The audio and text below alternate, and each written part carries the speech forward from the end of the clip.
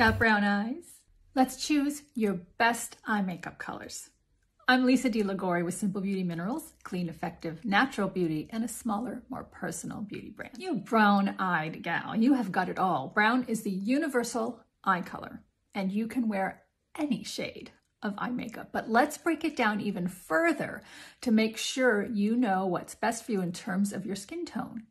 But overall, for a natural and harmonious look with brown eyes, you want to go with browns, peaches, coppers, golds, and bronzes. If you want your eyes to pop, virtually any other shade, blues, greens, purples, you name it. If you have a cool skin tone, you're going to choose the cooler tone browns, the lighter, cooler tone highlighting shades, and you're going to choose cooler purples and blues and greens. Everything is going to be a little bit a little bit coolness to it and a little bit more blueness to it.